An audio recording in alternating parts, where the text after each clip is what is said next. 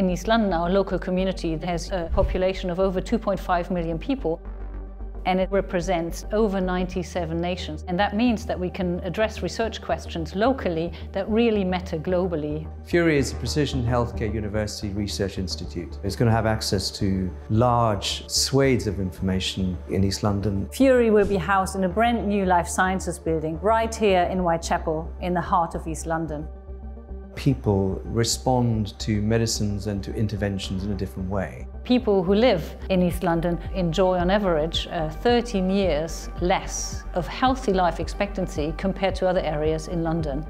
If you look at the treatment of high blood pressure, the drugs that we're using, for instance, in Caucasian populations are inappropriate or will not work as well. Therefore, the information that we learn from these large data sets allows us to tailor the intervention for that particular group of people. PHURI will have four centres designed to span the innovation cycle.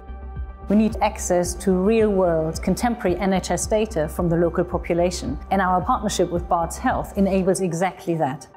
Integrated diagnostics and multiomics, technological advances provide a much more detailed molecular characterization of humans MedTech and devices also represents the cross-faculty nature of PHURI in bringing in science and engineering, possibly managing disease through devices.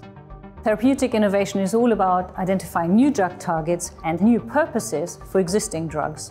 One of the really pressing needs is for the National Health Service and the hospitals to open their doors to innovation. The Institute will help us to do that, to bring clinicians and academics and industry into close collaboration to bring forward new discovery. I'm so excited about PHURI because of the ambition and the drive that is behind PHURI and the life sciences development in East London and the fact that we can answer questions locally that really address important needs globally.